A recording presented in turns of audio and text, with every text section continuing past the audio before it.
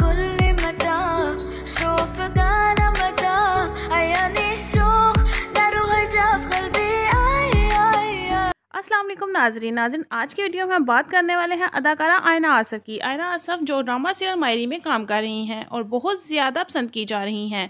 आयना आसफ का बहुत जल्द न्यू ड्रामा आ रहा है। जैसा कि आप जानते हैं कि मायरी में ने बहुत ज़्यादा शहरत हासिल हुई है। इसी वजह से सब डायरेक्टर चाहते हैं कि आयनी आसफ को कास्ट करें। यही वजह है कि आयना आसफ आने वाले दौर की ज़बरदस्त हीरोइन साबित होंगी।